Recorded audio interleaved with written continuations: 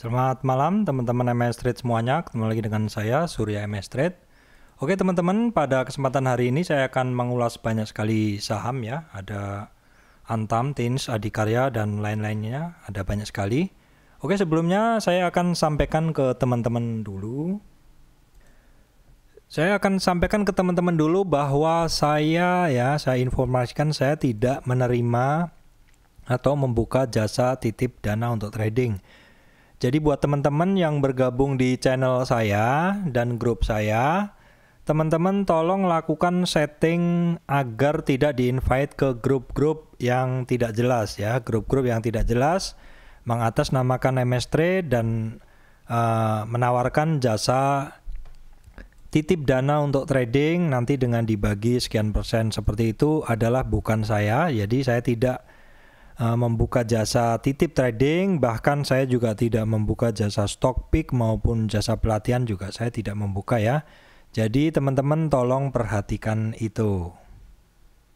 Oke, selanjutnya akan saya lanjutkan ke IHSG teman-teman ya. IHSG itu kemarin ditutup di 6222 jadi 6222 ya.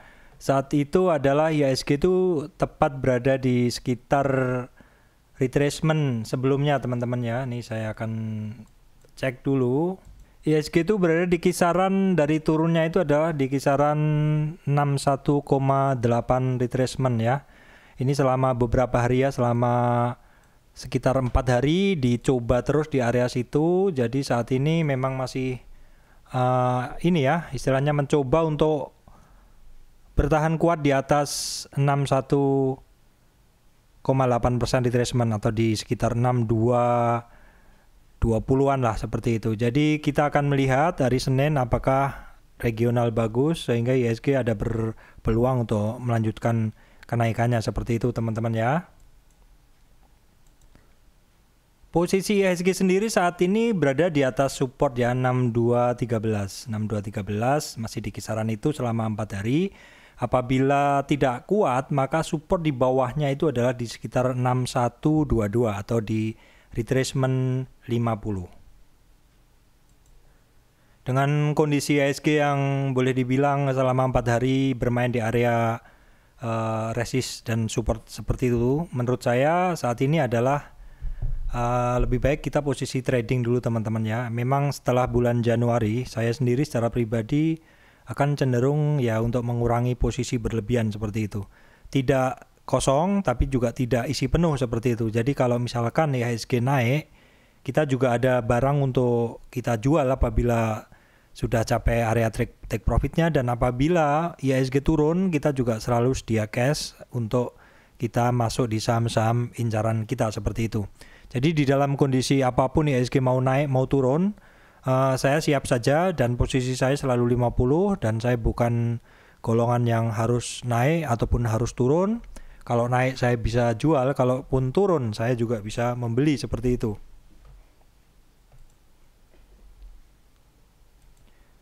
Oke teman-teman untuk selanjutnya adalah saham Antam, saham yang pertama saya bahas ya.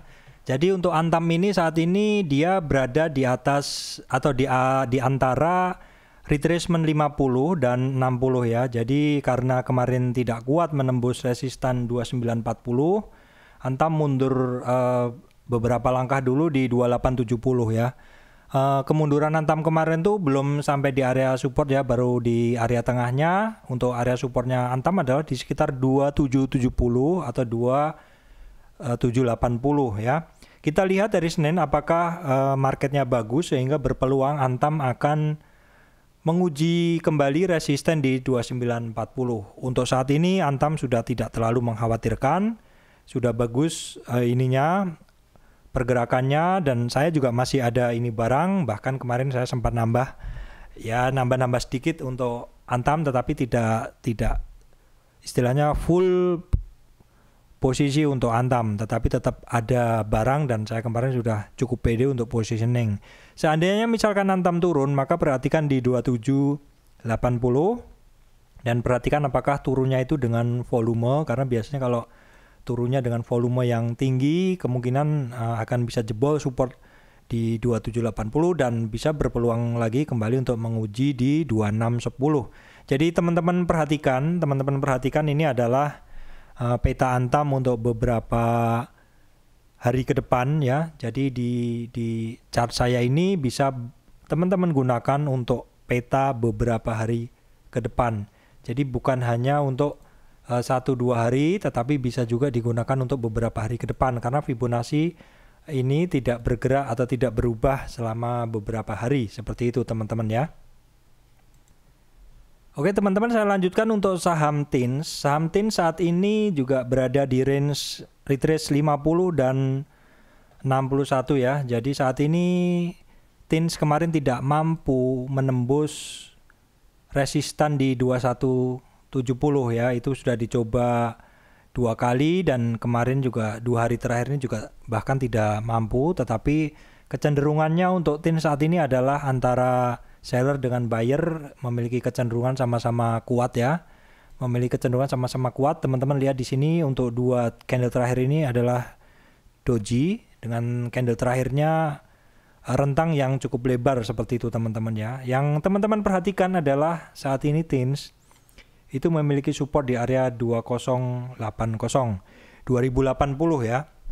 Teman-teman perhatikan itu dan untuk resistan itu di 2 2170. Untuk maksud saya untuk supportnya di 2050, ini tandanya di kiri ya.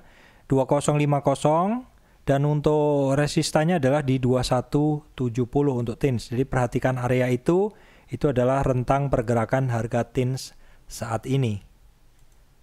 Sebenarnya secara pergerakan TINS ini saya udah uh, pede ya seperti hanya halnya Antam. Cuman mungkin karena kemarin marketnya juga tidak full seminggu, ada hari libur di hari Jumat ini, jadi kemungkinan orang juga cenderung take profit ya. teman teman-teman perhatikan untuk volumenya juga sebenarnya tidak terlalu mengkhawatirkan penurunannya kemarin ya. Uh, wajar saja cenderung orang akan melepas barang ketika hari libur. Kita akan lihat dari Senin apakah marketnya cenderung bagus yang membuat TINS uh, berkemungkinan untuk testing di 2170 sebagai resistennya. Seperti itu teman-teman ya. Untuk saham Adikarya, saham SWF pertama yang akan saya bahas ya, selama empat hari terakhir kemarin hari Senin ya, hari Senin kemarin sebenarnya menunjukkan pergerakan yang bagus teman-teman ya, mulai di awal Senin kemarin, uh, mulai bagus sebenarnya. Bermain di antara uh, ini di antara range 1445 sebagai support dan uh, kemudian juga resistnya di 15 60 tetapi resist itu dalam hari seminggu kemarin belum sempat ditembus sama sekali baru dites saja dan kemudian uh, kembali testing support di 1445 ya. Uh, selama empat hari kemarin pergerakan Adikarya boleh dibilang range-nya tidak begitu lebar ya. Jadi biasanya untuk Adikarya ini range-nya kan lebar sekali tapi boleh dibilang kemarin tuh sempit. Uh, sempat mengalami overshoot turun lagi di bawah support 1445 untuk adikarya tetapi mantul sehingga uh, kembali lagi di 1480 untuk dua hari sebelumnya. Sedangkan untuk hari terakhir kemarin juga sebenarnya sama, sempat turun tetapi dengan range yang tidak begitu lebar seperti hari sebelumnya. Untuk saat ini Adikarya supportnya adalah di 1445 yang merupakan retrace 23 dan untuk resistan adalah di 1560 untuk kenaikan maupun penurunan kemarin masih di bawah rata-rata uh, volume 20 hari. Jadi uh, boleh dibilang memang uh, sepertinya belum ada uh, minat yang cukup kuat bagi orang untuk membeli ataupun menjual uh, adikarya ini, teman-teman seperti itu ya. Oke, saham selanjutnya yang akan saya bahas adalah Wika, teman-teman ya. Wika yang sebelumnya saya bilang bahwa ini lebih advance daripada uh, saham SUF yang lainnya. Ya memang benar karena saat ini Wika sudah bermain di atas 38 retracement ya. Dan bermain di area situ sudah lebih dari seminggu teman-teman ya. Jadi boleh dibilang saat ini Wika sedang membentuk base ya atau istilahnya konsolidasi. Uh, selama di konsolidasi itu volumenya biasanya kecil. Dan seperti ini biasanya sih saya masih memantau apakah dia akan breakout atau apakah dia akan turun seperti itu. Kalau misalkan volume terjaga tetap ada selama masa konsolidasi, biasanya seperti itu memiliki kecenderungan ya untuk naik seperti itu teman-teman ya.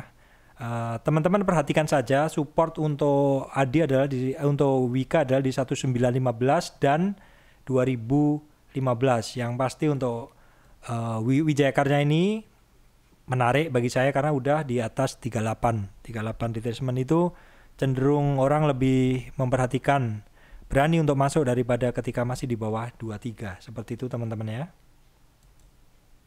Berikutnya adalah saham PTPP, teman-teman. PTPP saat ini masih di range 23 sampai 38 retracement ya. Masih belum berani bermain di atas 38 ya, istilahnya masih slow-slow saja seperti itu, teman-teman dengan volume yang cenderung kecil, masih di bawah rata-rata volume 20 hari. Uh, untuk PTPP ini akan lebih menarik lagi apabila dia bisa menembus resistan 38 ya. Kenapa? Karena ya saat ini resistan 38 sepertinya alot sekali untuk ditembus oleh PTPP karena sudah ya sekitar dua minggu bermain di area situ mencoba beberapa kali uh, retrace 38 atau 1845 dan uh, juga mencoba beberapa kali support di 1720 itu seperti itu. Jadi teman-teman perhatikan dua titik penting dari PTPP ini. Apabila kuat menembus 1845 itu akan sangat bagus karena uh, berarti pergerakan dari PTPP ini udah keluar dari range konsolidasi selama dua minggu ini. Oke, kemudian saham WSKT secara bentuk juga hampir-hampir sama dengan yang lainnya. WSKT saat ini masih belum berani menembus resisten 1610 atau retracement 38 ya masih bermain di area situ seperti dengan PTPP selama dua minggu ya kita perhatikan uh, apakah minggu depan market bagus dan memberi dukungan kepada Waskita Karya dan teman-teman untuk naik. Yang pasti untuk saat ini volumenya masih belum cukup untuk membantu Waskita Karya ini untuk naik ya. Seperti teman-teman perhatikan ketika ada pergerakan naik maka perlu dorongan volume yang kuat. Ya seperti ini ya ketika naik perlu dorongan yang kuat. Tetapi memang ciri khas dari konsolidasi seperti ini ya cirinya adalah volumenya itu biasanya kecil. Ya selama volumenya kecil dan masih konsolidasi biasanya harga saham juga masih di situ-situ saja seperti itu teman-teman ya.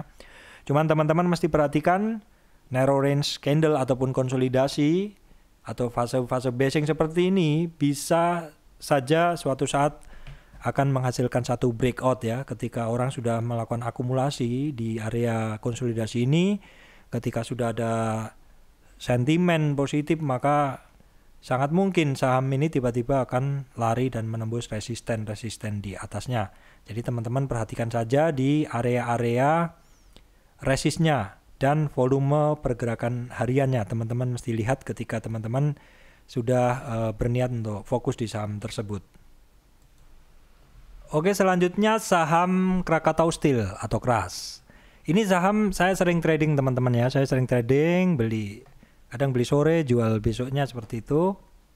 Untuk KRAS itu saat ini untuk supportnya masih di 710 dan untuk resistennya masih di 745. Saya biasanya hanya ngambil sekitar 3 sampai 5% saja untuk keras ini jadi saya usahakan akan membeli di area-area support ya 675 seperti ini di garis-garis ini ya. Kemudian menjualnya ketika dia mendekati resist seperti itu ya. Kalau kalau saat ini supportnya adalah di 7 saat ini supportnya adalah ya kelihatan teman-teman ya. Di 710.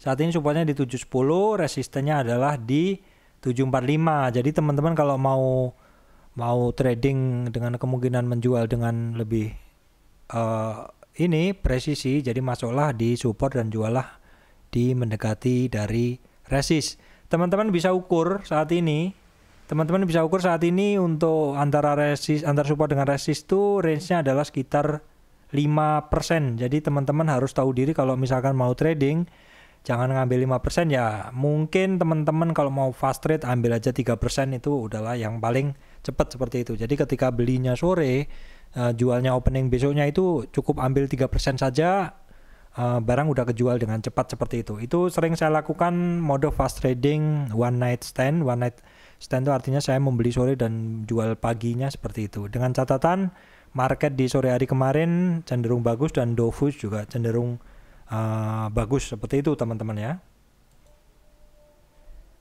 Oke, untuk saham BRIS ini adalah peta pergerakan BRIS yang teman-teman bisa gunakan selama beberapa hari ke depan ya. Jadi teman-teman perhatikan saat ini BRIS masih bermain atau kembali lagi bermain di area 2680 ya. 2680 tuh ini dan 2980. 2980 ya.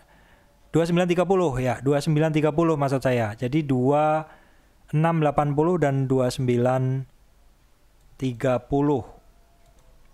Oke saya rubah aja tadi karena nggak kelihatan ya. Saya ulang lagi bahwa untuk bridge ini teman-teman perhatikan saat ini area 2680 untuk support dan 2930. Sebenarnya untuk bridge ini kemarin udah sempat nembus 2930 dan menuju ke 3060 ya. Tapi terus turun lagi dan dua hari terakhir ini cenderung kecil sekali transaksinya dengan bentuk doji seperti ini ya. Wajar mungkin orang mau liburan, tidak mau pegang barang seperti itu. Uh, bridge ini akan menarik teman-teman ketika dia mulai bermain di atas 2930 dengan resisten nanti adalah 3140 ya. Seperti itu. Jadi area sini adalah area yang menarik. Ini berarti istilahnya pergerakannya bridge sudah di luar range konsolidasi selama dua minggu, dua minggu di area 2680 dan 3 2930 kalau besok berani di atas 2930 itu adalah bagus karena berpeluang untuk menguat dengan menguji resisten di 3140 untuk BRIS. Oke, selanjutnya adalah saham agro. Agro yang digadang-gadang sebagai bank digitalnya BRI, ya, pergerakannya udah cukup bagus. Saya udah tambah lagi di area 1000 ya memang di dua hari terakhir kemarin ya dengan volume yang kecil, volume yang kecil, uh, agro konsolidasi setelah naik. Ini ini menurut saya sih tidak ada masalah ya karena pada saat agro breakout kemarin ini breakoutnya itu didukung dengan volume yang kuat dan kemudian agro adalah konsolidasi yang ditandai dengan volume yang kecil. Menurut saya sih tidak ada masalah ya. Yang jadi masalah adalah ketika ada guyuran dengan marubosu seperti ini, marubosu black seperti ini dan volume yang tinggi seperti ini. Untuk agro ini kan memang beda dengan Antam kemarin ya. Kalau Antam kemarin di saat dia turun seperti ini, Antam Ira ataupun KF di saat turun seperti ini volumenya itu adalah kecil, kecil teman-teman. Area di sini aja. Kalau agro ini kemarin turunnya dalam ya. Jadi saya belum berani untuk average down untuk agro dan saya tunggu sampai dia mantul dengan volume besar seperti ini baru kemarin saya baru masuk lagi seperti itu. Jadi untuk agro menarik saya masih ada. Jadi untuk agro ini menarik saya masih ada dan saya masih ini ya istilahnya masih ada harapan untuk agro ini menaik naik lebih tinggi lagi apabila besok Senin market mendukung maka agro akan mencoba untuk testing resistannya. Resistan dia di sebelumnya adalah di 1110 di sini ya. Kalau bermain di atas 38 tuh pasti banyak sekali orang yang memikir lagi nih. Wah, ini agro mulai menarik seperti itu. Jadi uh, akan menarik minat orang lah untuk mulai positioning lagi untuk agro setelah dia kuat di atas 38 seperti itu.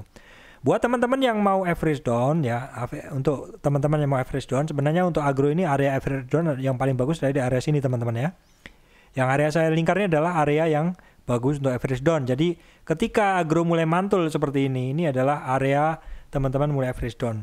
Kalau misalkan agro ini sampai nanti sudah di level 50-an itu istilahnya udah telat untuk teman-teman average down karena harganya udah tinggi seperti itu ya. Saya udah nambah kemarin di area 1000 ya untuk Ya selanjutnya kita akan lihatlah ke depan untuk agro ini pergerakannya seperti apa seperti itu. Oke selanjutnya saham Bank Bukopin BBKP. Saya ada ini ya teman-teman ya. Saya udah tiga kali masuk di sini. Jadi biasa saya masuk itu kan lima kali. Jadi kemarin saya masuk pertama masih nyangkut ya di atas. Saya masih nyangkut di atas karena udah terlalu dalam. Saya harus melakukan teknik untuk keluar di sini di saham ini saya udah dua kali masuk dan kemarin terakhir masuk di di 530 kalau nggak salah di sekitar 5 53 530-an ya tapi saya lepas lagi karena saya kelebihan muatan kemarin jadi apalagi mau libur saya lepas lagi Oke, saya sampaikan dulu untuk Bang Bukopin ini. Saat ini dia masih struggle, selain dia masih mencoba berjuang untuk menembus resisten di 530 dari base-nya dia ya. Pada saat kemarin dia break di sini, kemudian dia naik ya.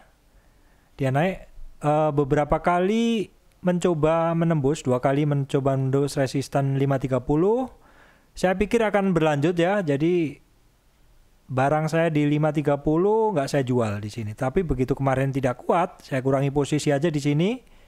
Jadi saya masih ada dua posisi di sekitar inilah sama 6 ya sekitar ini. Posisi saya kalau di average jadi mungkin udah ketarik, mungkin posisi saya sekitar 600 ya. 600 mungkin saya akan jual semua. Karena saya akan memang akan mengurangi barang ini, saya mau fokus di di agro saja seperti itu karena ini cukup lama ya pergerakannya saya udah hold cukup lama dan cukup menahan modal saya untuk untuk tidak bisa trading ke saham lain. Jadi teman-teman perhatikan saat ini resistnya masih di 530 dan resist berikutnya apabila mampu 38 itu adalah di 590. Saya sih nggak yakin bisa langsung ke 590 ya. Mungkin akan bermain di konsolidasi di area sini dulu karena volumenya kemarin juga masih kecil, masih kurang lah untuk konsolidasi seperti itu. Oke, selanjutnya adalah saham Bank Jatim. Bank Jatim saat ini masih bersandar di support 785. Ini lama cukup lama teman-teman ya di area situ 1 2 3 4 ya udah kira-kira seminggu teman-teman ya. Seminggu lebih sih kalau ditarik dari pembalikan dia pertama itu udah cukup lama sebenarnya di area ini 785 ini dites. Ya cukup cukup lama. Saya sempat masuk ini dan saya udah lepas ya sama one day trade aja saya beli sore jual besoknya seperti itu dan bisa profit tapi saya lihat pergerakannya masih sempit-sempit. Saya kurang begitu suka kalau melihat saham yang saya trading pergerakan sempit jadi saya takut istilahnya modal berhenti di situ. Jadi sementara saya exit dulu lumayan lah 2-2-3 persen. Uh, one night trading bisa profit seperti itu. Untuk untuk saat ini saya belum positioning lagi.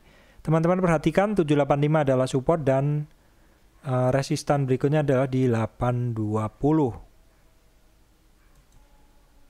Oke, selanjutnya adalah Bank Jabar BJBR. BJBR sama teman-teman ya, masih bermain di area area 38. Jadi dia masih mencoba menembus resist 155 1555. Itu udah dicoba dua minggu juga ya memang marketnya itu kurang mendukung teman-teman ya orang untuk membeli juga nafsunya juga tidak ada menjual juga tidak ada jadi range-nya sempit jualan juga tidak banyak yang beli juga tidak banyak. Jadi teman-teman kalau mau trading seperti itu mesti pilih-pilih bener ya. Pilih, mesti pilih-pilih bener masuknya harus benar-benar di area area yang istilahnya cuantastik seperti itu ya. Area-area di mana support teman-teman masih bisa buang seperti itu. Kalau mau melihat seperti itu teman-teman uh, lihat aja di chart ininya di chart hourly-nya apakah ada kesempatan di area tersebut. Nah seperti ini. Teman-teman lihat di area chart hourly pastikan teman-teman kalau membeli adalah di area-area bawah area-area supportnya seperti itu dan untuk take profit di kondisi saat ini market volatile teman-teman mungkin bisa ambil 3% aja udah bagus. 3% net seperti itu teman-teman ya. Oke, selanjutnya adalah Elnusa ya. Elnusa masih di situ-situ saja. Saya ada barang sekitar 4 380 380 390 dan saat ini memang dia masih bersandar di 380. Kemarin harga oil naik tapi tidak banyak mendorong pergerakan saham Elnusa ini ya teman-teman ya. Saya akan lihat dalam beberapa hari apabila tidak ada pergerakan, kemungkinan saya akan keluar. Saya untuk Elsa ini, saya ada pernah trading di sini dengan profit yang lumayan. Di sini saya short, kemudian di sini sempat masuk untung dan uh, yang terakhir saya masuk ini di sekitar 380 390 apabila dalam beberapa hari ke depan tidak ada pergerakan yang berarti saya akan switching ke saham lain, teman-teman ya. Seperti itu. Jadi kebiasaan saya kalau ada satu saham pergerakannya tidak begitu cepat, uh, saya memiliki kebiasaan akan switching ke saham lain. Jadi misalkan saya rugi 2 sampai 3 persen, tidak masalah, tapi saya switching ke saham lain mungkin bisa dapat lebih, dapat sekitar minimal 7%, saya bisa menutup kerugian sehingga net saya keuntungannya bisa sekitar 4 sampai 5%. Seperti itu teman-teman ya. Saham berikutnya yang saya bahas adalah Medco. Ya, Medco kemarin sempat bagus sekali tiga hari yang lalu. Bisa naik di atas retrace 61 atau tembus resisten 710. Tapi sayangnya closingnya itu juga cost to cost atau istilahnya dari support di 710 itu juga langsung menembus support di 685 dan ini adalah volatilitas yang lebar. Uh, itu adalah tiga hari yang lalu, kemudian itu adalah itu adalah tiga hari yang lalu dan dua hari setelahnya juga masih nggak kuat untuk bisa bertahan di resisten di support 685 maksud saya. Di support 685 pun dia tidak kuat atau di retrace 50%. Dan saat ini untuk Medco supportnya adalah di 665. Ya karena kemarin tidak kuat selama 1 2 3 4 5 ya sekitar sekitar 7 hari eh, sekitar seminggu lebih ternyata supportnya 685 juga tidak kuat. Jadi saat ini support yang kita gunakan adalah 665 untuk Medco. Begitu teman-teman ya. Oke, ada yang minta dibahas untuk perusahaan gas. Oke, perusahaan gas di dalam tren turunnya ini teman-teman ya. Di dalam tren turunnya ini untuk perusahaan gas ini udah mantul sebenarnya, udah menembus resistan di 1415 di sini. Bahkan sempat ke 38 atau 1505 ya, 1505. Tapi jeleknya itu dalam tiga hari ini juga dia kembali lagi ke support 1465 Ya, saat ini boleh dibilang bersandar di support 1465 apabila tidak kuat, kecenderungannya adalah turun. Kecenderungannya adalah turun. Jadi kita lihat dari Senin, apakah market mendukung pegas ini untuk turun atau naik. Teman-teman mesti lihat ketika dia turun apakah ada dorongan volume yang besar. Kalau misalkan besok konsolidasi aja dengan volume kecil, ya saya rasa untuk pegas akan banyak bermain di sini dulu dan paling-paling kalau misalkan naik dia akan testing di 1505 lagi. Seperti itu teman-teman ya.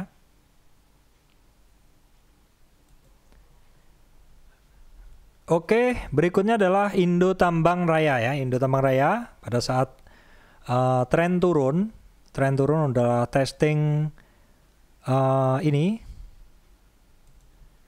Indo Tamang Raya ketika turun dia udah testing ini ya apa istilahnya supportnya di sini. Udah mantul lah di di di resistan ini. Namun kemudian ternyata juga tidak kuat lagi menembus resistan di 13075 bahkan sempat turun lagi ke support 12475 dan hari kemarin hari kemas kemarin untuk Indo Tamaraya itu sebenarnya mau mencoba lagi untuk menguji resistan 1305. Jadi teman-teman perhatikan range-nya adalah di 12 12475 dan 13075 untuk Indo Tambang Raya. Pergerakan hari Kamis kemarin sebenarnya cukup bagus ya, cuman mungkin orang cenderung untuk menahan diri untuk belanja dalam jumlah lebih besar karena hari Jumatnya, Jumatnya adalah libur. Seperti itu teman-teman ya. Hari Senin kita lihat apakah mampu bagi Indo Tambang Raya untuk testing resistan di 13075. Berikutnya Berikutnya yang saya bahas adalah PTBA.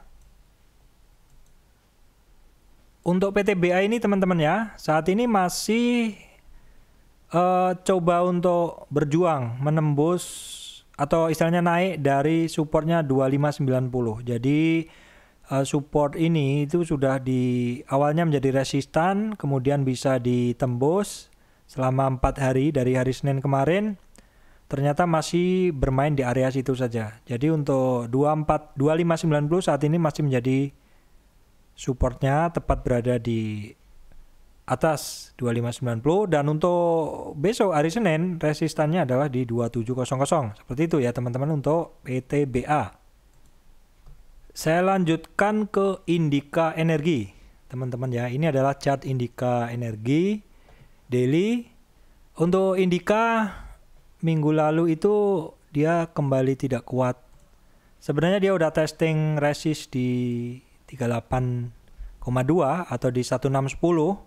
Apabila kuat di atas 3 eh, 38 atau 1610 bagus, tapi ternyata dalam minggu kemarin tidak kuat bahkan sempat menembus support di 1520 ya. Untungnya untuk closing hari Kamis kemarin kembali lagi bisa di atas support 1520.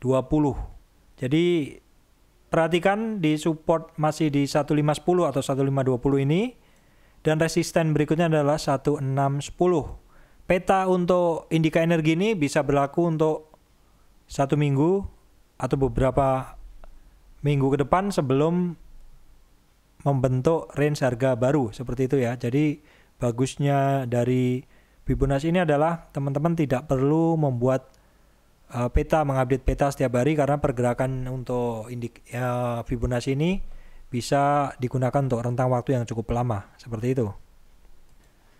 Oke selanjutnya saya lanjutkan untuk Harum Energi ya teman-teman. Harum Energi ini satu saham yang kok kayaknya nggak pernah turun seperti itu ya. Kira-kira bagaimana ya? Uh, teman-teman perhatikan untuk Harum Energi ini saham-saham yang pergerakannya sangat uh, perfect bullish seperti ini teman-teman bisa gunakan moving average saja untuk masuk dan istilahnya untuk nambah di saham tersebut. Jadi gunakan moving average ya. Ya teman-teman pasang dulu moving average-nya.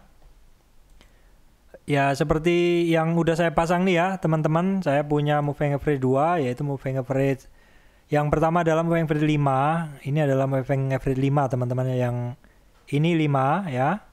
Kemudian yang ini yang bawah ini adalah yang 20 ya. Jadi teman-teman gunakan moving average 5 20 ataupun uh, teman-teman punya setting lain nggak apa-apa mau 10 30 juga nggak apa-apa. Yang penting satu moving moving average itu adalah pendek, jangka pendek dan satunya adalah moving average jangka panjang. Jadi teman-teman itu masuk masuk ketika uh, harga saham Harum itu bersandar pada moving average yang panjang seperti ini ya, seperti ini. Ini teman-teman perhatikan seperti itu.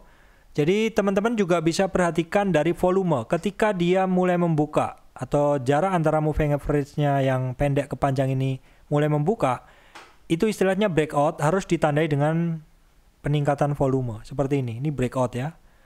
Tepat di area pullback moving average 5 dan 20 ada volume bagus. Di sini ada volume bagus. Di sini ada volume bagus. Itu adalah pergerakan yang sehat. Nah, untuk saat ini, bentuk dari Arum ini hampir mirip dengan Antam ketika Antam itu naik kenceng. Yang perlu teman-teman perhatikan adalah ketika harganya sudah overshoot terlalu jauh, teman-teman jangan main HK ya. Teman-teman jangan main HK. Karena sejatinya ini ini yang ini MA 5 ya, MA 20 yang ini ini misalkan nih saya gambarkan MA20 seperti ini. Maka pergerakan saham yang sehat itu MA pendeknya itu harus sesekali beristirahat seperti ini teman-teman ya. Naik lagi, istirahat lagi seperti itu. Jadi ada area-area di mana teman-teman bisa membeli gitu. Membelinya di mana ya? Membelinya di area-area pullbacknya seperti ini. Di area-area pullbacknya itu teman-teman bisa membeli. Jangan ketika dia overshoot terlalu jauh, teman-teman masuk. Kalau misalkan nanti ada penurunan, ada marketnya kurang bagus, teman-teman bisa keseret portonya kalau teman-teman harganya atas. Jadi sekali lagi perhatikan untuk saham-saham seperti ini masuknya kalau bisa BOW ya, buy on weakness. Buy on weakness itu adalah saat masuk yang tepat untuk saham yang perfect bullish seperti Harum Energi ini. Oke teman-teman saya lanjutkan untuk Adaro. Adaro saat ini dia masih belum mampu. Belum mampu naik dari area ini teman-teman ya. Konsolidasi masih di base. Ya, untuk resistannya masih di 1265.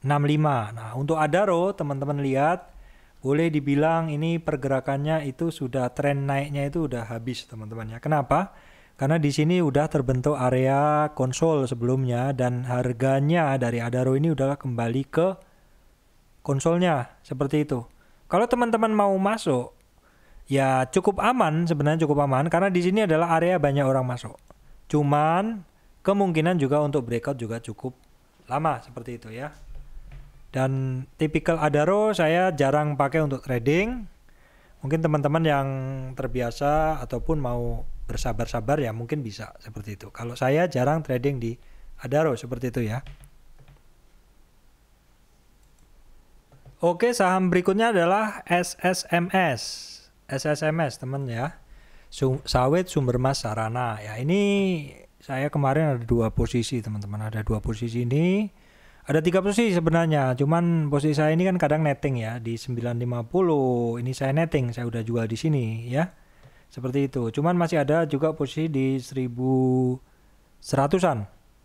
Dan ketika naik kemarin saya belum jual karena memang uh, ini ya istilahnya cepat sekali pergerakan kemarin tiba-tiba sawit sumber mas udah turun aja seperti itu dan turunnya itu sayangnya dengan volume yang besar teman-teman ya Uh, jadi sejak penurunan kemarin saya masih hold. Planning saya sih kalau memang pergerakannya akan di area-area ini mungkin saya akan keluar dulu deh seperti itu karena harga saya di 1100 1000 1000 1100 kan di sini teman-teman ya. Sedangkan untuk SSMS ini masih berpeluang juga untuk di area ini, area dari 995 eh, 1000 sampai sekitar 1085. Untuk supportnya ya untuk support SSMS saat ini adalah di 1075. Jadi harga terakhir kemarin sebenarnya dekat aja di support 1075. Kita lihat dari Senin apakah ada pantulan. Kalau ada pantulan saya tetap akan kurangi posisi ya karena saya sudah cukup lama di SSMS dan volatilitasnya agak mengganggu karena harga saya di 1100. Jadi saya mesti buang dulu, short dulu untuk uh, lepas barang baru kemudian saya akan antri di bawah dulu untuk SSMS seperti itu teman-teman itu adalah gaya trading saya Oke selanjutnya adalah era teman-teman ya. Era ini adalah saham yang boleh dibilang perfect bullish teman-teman ya. Untuk era strategi trading saya adalah saya akan masuk ketika dia harganya itu di pullback di MA20 ya. MA20 nih sempat tersentuh beberapa kali. Ya untuk harga terbaiknya adalah ketika mendekati MA20 dan mungkin teman-teman bisa menjualnya ketika dia uh, berada di puncaknya seperti itu teman-teman. Jadi teman-teman bisa ukur, bisa ukur kira-kira kalau teman-teman bisa berhasil dapat barang di sini itu ya cukup mantap teman-teman ya, mantap sekali bahkan nih di atas 10%. Kalau teman-teman bisa beli di area-area pullbacknya seperti itu. Coba kita ukur kalau misalnya teman-teman di sini sehari aja bisa 14% seperti itu. Jadi memang harus sabar model dari era ini. Ini misalkan kemarin teman-teman masuk dan bisa buang di sini ini dapat 14% ya.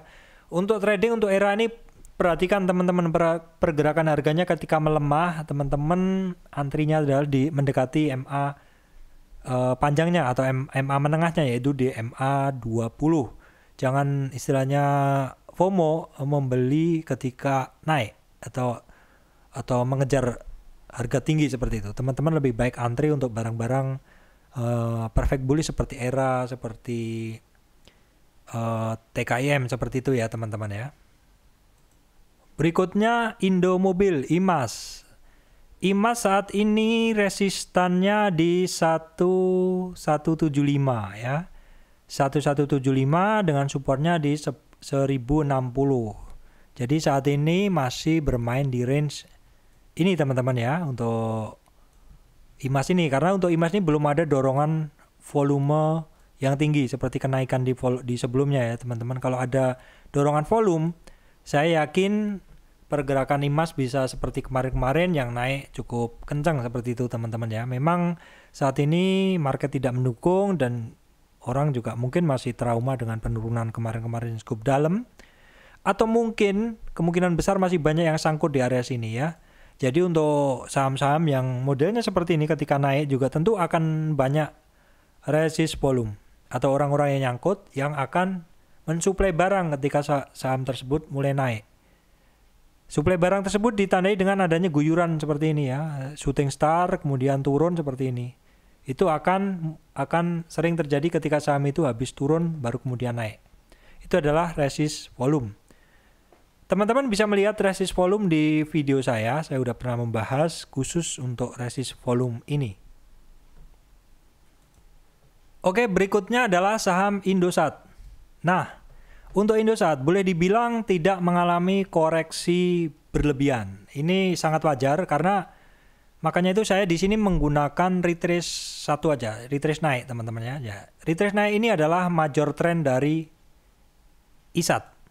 Major trend dari ISAT adalah retrace naik. Jadi teman-teman sambil belajar, ini adalah swing low-nya. Kemudian ini adalah swing high-nya. Dan ini adalah correction-nya untuk IMAS untuk ISAT maksud saya. ISAT koreksi hanya sampai 38.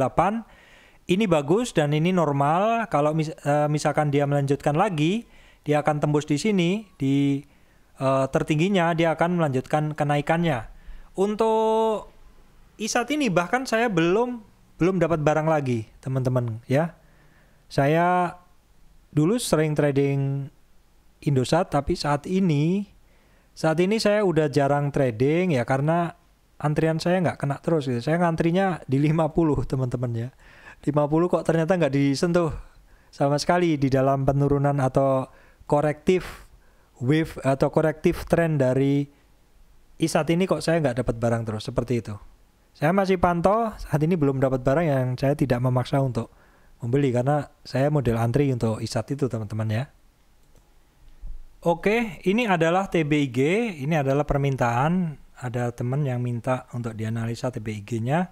Oke, untuk bisa melihat TBIG ini kita akan melihat secara detailnya dulu ya. Kita akan buka di kita akan buka di chart monthly teman-teman ya. Ya, kenapa saya buka chart monthly supaya teman-teman bisa melihat gambaran nih di sini tertingginya ya. Oke. Ini tertingginya ini ini adalah resisten dari TBIG dalam monthly. Jadi ketika satu bulan yang lalu, ini kan bulan Februari ya, ini Januari TBIG menembus itu adalah berhasil menembus resisten sebelumnya, seperti itu. Ini akan saya perbesar dulu. Nah, teman-teman lihat, ketika resisten ini, ini adalah resisten yang bulan Januari, bulan November 2014. Lama teman-teman, ini resisten ini udah tahun 2014. Dan kemarin dites lagi di sini. Ini artinya apa? Artinya ini adalah penembusan resisten bertahun-tahun, resisten tahunan. Karena ini kita menggunakan chart monthly dari TBG. Oke, selanjutnya kita akan melihat weekly. Nah, weekly-nya teman-teman. Nah, lihat ya.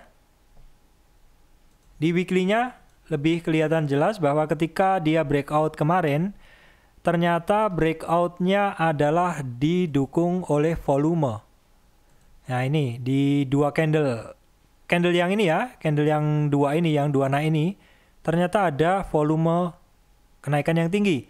Namun demikian di dua candle weekly berikutnya ada juga yang jualan cukup tinggi.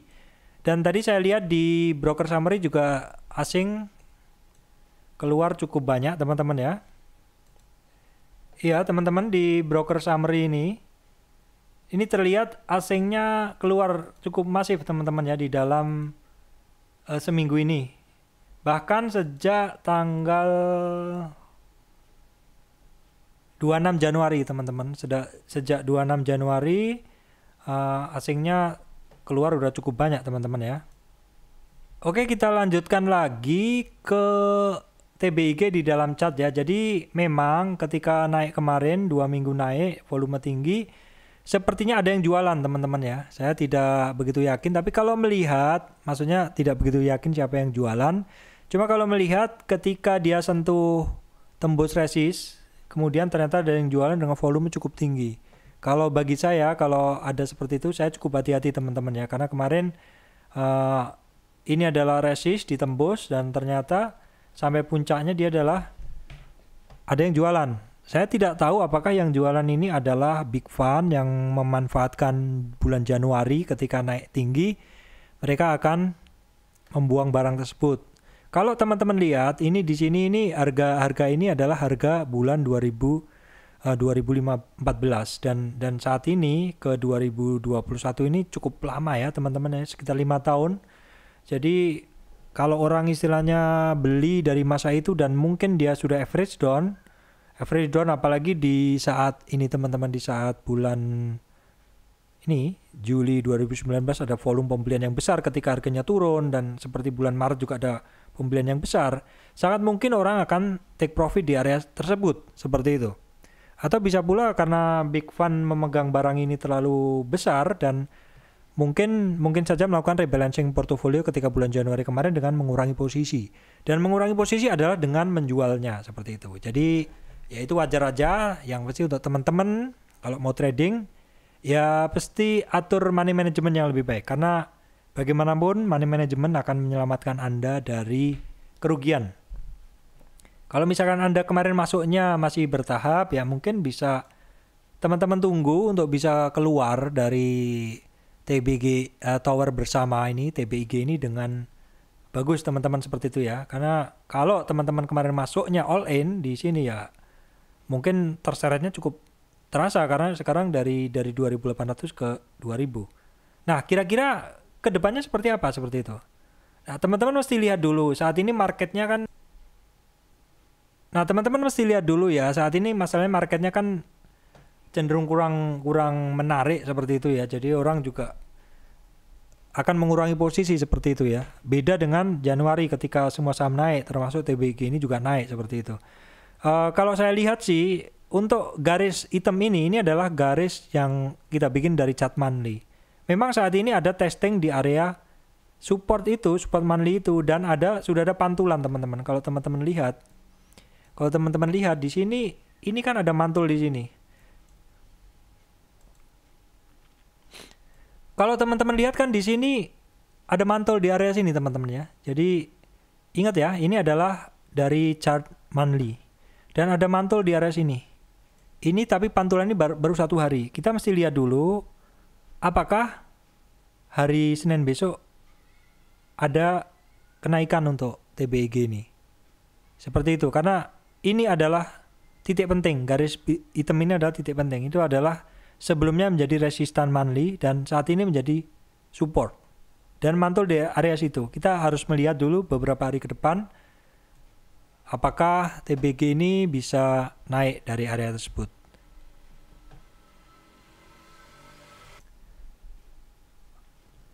Oke, berikutnya adalah saham bull.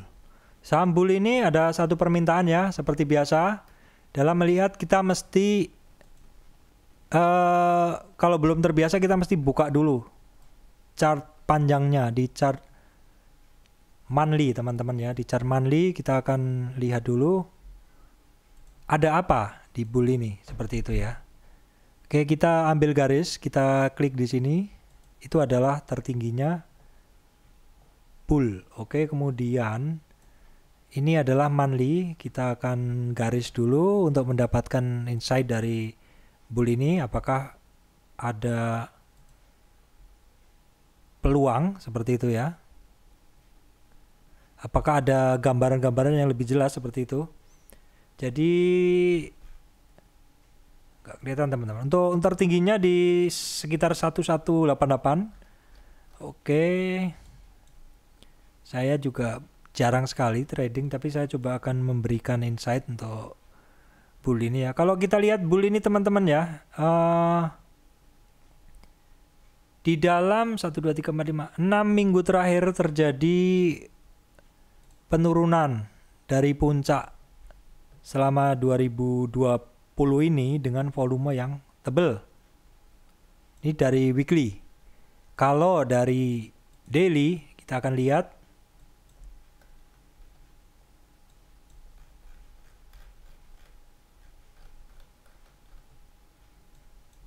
Ya, memang kalau kita lihat teman-teman ya untuk bull ini dari 2014 ini adalah area bull itu boleh dibilang ini area ini ya, teman-teman ya, area konsol tahunannya dia di situ. Kemudian di 2020 ada konsol di sini. Oke, kita akan coba lihat dulu Nah, saat ini di dalam pergerakan dari Juni 2020 sampai Januari, bull kan ini konsolidasi, kemudian dia breakout. Tetapi setelah breakout dan sampai puncak dia turun dan trennya ini habis, teman-teman. Ini bentuknya seperti IRA, seperti saham-saham yang kemarin naik. Nah, apakah ada kemungkinan naik? Kan teman-teman ada yang nanya seperti itu. Nah, untuk saat ini kita lihat ketika dia turun, dia volumenya cukup besar, teman-teman. Beda kemarin dengan IRA, dengan KF itu pada saat naik, pada saat turun tuh volumenya nggak ada. Kalau ini besar. Cenderung besar lagi, pas turun di sini cenderung besar. Nah, pas hari terakhir ini ada volume tinggi dan bentuk candlenya adalah hammer. Nah, apakah Senin kemungkinan naik? Uh, Sebenarnya gini prinsipnya kalau teman-teman melihat uh, saham seperti ini, kalau teman-teman masuk di area-area konsol seperti ini, ini sebenarnya cukup aman karena banyak temannya. Seperti IRA seperti itu.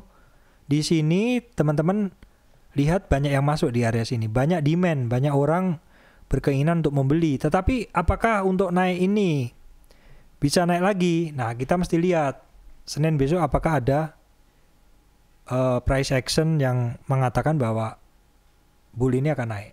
Tapi bisa saja untuk short term short term terjadi spike-spike seperti itu tetap bisa. Jadi teman-teman kalau mau trading ya masuklah di area barengan ini gitu loh. Jangan nanti kas udah naik tinggi baru masuk seperti itu.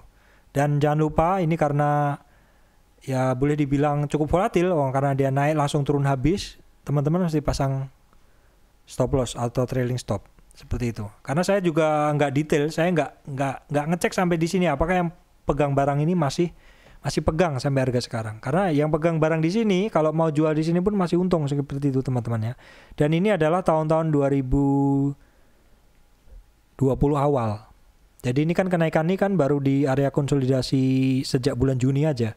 Jadi yang pegang barang dari Maret ini kalau masih pegang kan dia mau jual sekarang pun masih untung seperti itu. Jadi teman-teman mesti waspada aja kalau masuk ya pasang take profit dan juga pasang trailing stop. Uh, maksud saya stop loss seperti itu ya. Oke demikian uh, teman-teman uh, beberapa saham yang saya ulas cukup banyak memang ya tapi teman-teman gak usah khawatir saya akan menyajikan video ini dengan time code jadi teman-teman nanti cek aja di time code tinggal klik video mana yang akan teman-teman lihat seperti itu Baik, demikian dari saya Surya MS Trade and Investment. Terima kasih teman-teman semuanya.